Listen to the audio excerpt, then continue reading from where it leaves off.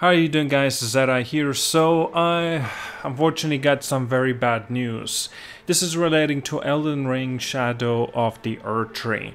And there's been a report that unfortunately this new expansion for Elden Ring will not contain any new trophies. Wow, really is unfortunate. Now From Software are not exactly known of having extra DLC trophies for their games. The only time that they did had it was for the Bloodborne The Old Hunters DLC. Nevertheless, that also was the reasoning why it even received extra uh, trophies, it was because of the association with the PlayStation.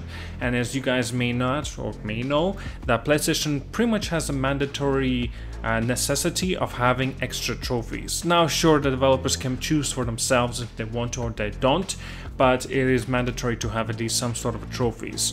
Now to an extent, I'm not, I'm not too sure exactly how it works, but that's what I heard anyway.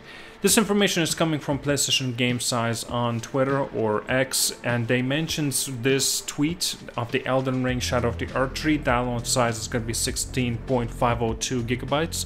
You can pre-download this on June 19th, and the launch of this expansion will be on June 21st. Now there's been a question that Damien asks, do we know if there will be new trophies? And the reply comes in, looks like no trophies, I'm not sure. Now there is still is a possibility, perhaps maybe he could be wrong and relating to the trophies, but anything he mentions and especially with early releases of the games, well, unfortunately, I cannot cater that it is indeed the truth. And like I mentioned already, From Software are known for not having extra DLC trophies. This has happened with Dark Souls 3. It contained two DLCs, and yet there were no extra trophies within there. And unfortunately, uh, the only time we had the DLC trophies, like I mentioned, was from Bloodborne The Old Hunters. But still, I really was looking forward to play this game, get all the trophies 100%ing it once again for its DLC of Elden Ring. And now, like I'm even saying in the, in the title of this video, I'm thinking of not getting this DLC now, because even though I know for a fact that this DLC will be phenomenal, just like it was the main game, but because it has no trophies, it's just there's no incentive of me of getting this game and playing it through. Like, I want that hook, right? That's what I want. Now, trophies is that hook for me. Now, a lot of people may not understand my line of process thinking, right? Why do I care about these trophies? Because some people will understand that, but majority, I believe, mm, not so much, they won't. And yeah, sure, a lot of people say, why does that even matter? Whatever, it's just me. This is just my case, like I'm saying that I will not be picking up the DLC most likely now, due to this. Even if I do, I'll play it, I'll finish it, and that's it, I'll be done to get, uh, get the video out, say about my thoughts and my review regarding of the Shadow, Shadow of the Erdtree for Elden Ring. But again, it's just like there's no motivation for me any longer. Yet, trophies was that main hook that I've really appreciated and I've really liked to go through and getting that platinum. It's also a nice way, of a nice sense of kind of accomplishment and a victory within, well, for me, right?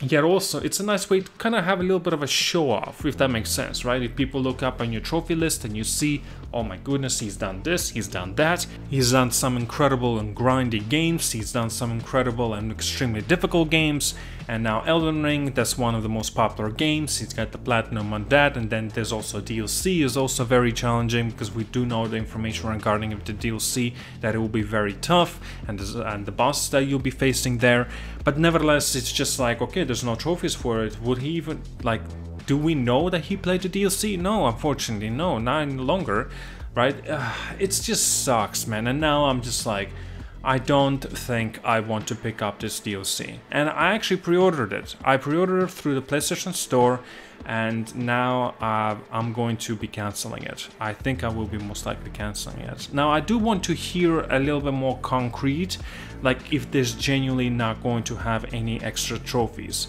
If there really isn't, it's like 70 to 80% yeah, I'm gonna cancel my order. And if there is, oh, 100% I'm getting it. Oh, okay, well, I just had to sprinkle in here as well. Uh, basically, PlayStation Game Size has specifically mentioned that there will be no trophies. It's not like as if it was a question, but now it's a confirmation that indeed it will have no trophies. So yeah, most likely I will not be picking up this DLC at this point. Kinda is you know, a very bad way of looking things and like literally depriving of myself of enjoying an incredible experience all because there's just going to be no trophies attached to it.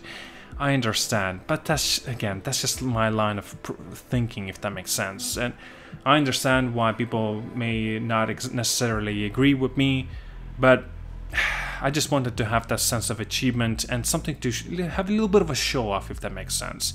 And I'm sure a lot of people and haters will say out there, who are you to show this off to? And like I mentioned, my own sense of achievement. Uh, anyway, guys, I don't want to make up more uh, excuses and shit, and I just want to be done with this conversation and move on because, unfortunately, From Software once again has not included extra DLC trophies, just like they didn't with Dark Souls uh, 3, uh, both of those DLCs. Thankfully, they did for Bloodborne, well, because of the association with PlayStation. Now, talk about Bloodborne remastered, Bloodborne remake. Where the hell is it? Alright, guys, thank you so much for watching us. See you guys, and uh, yeah, have a good one.